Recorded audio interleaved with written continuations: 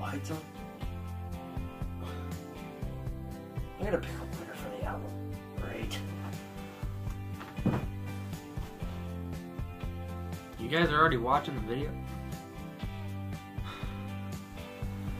I don't even. Okay, here's the thing.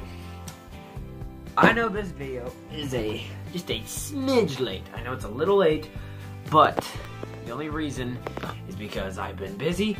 I've been to a Skillet concert recently. I've been to a wedding, so I couldn't decide the winner in the good amount of time.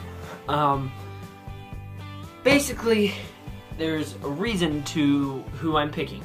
So, the winner is Carter. The reason I am picking Carter is because one, he's a really good friend of mine, and two, come on, camera work, and two, for his birthday, I figured, hey, why not give them something else? Album, might as well. And another thing, I'm not gonna say it, otherwise I just spoiled your birthday gift. Anyway, so Carter, you are the winner, and uh, yeah, this video is short because I'm, I don't really feel like doing it. I mean, I do. I'm, I don't feel like making it a long video, but here's a guitar pick. All right. Hope you guys enjoyed the video. You did not win, don't worry. There's more giveaways to come. I don't know what they're gonna be, but anyway, we're also gonna talk about selling the CDs.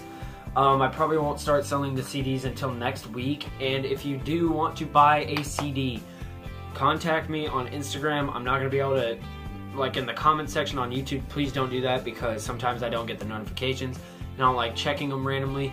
And then just now getting somebody saying, hey, can I do this? Even though it was two days ago and I couldn't really answer. So, message me on Instagram if you want to buy a CD. Next week I will announce when I will be selling them. Right now I can't because I haven't got any of the CDs made.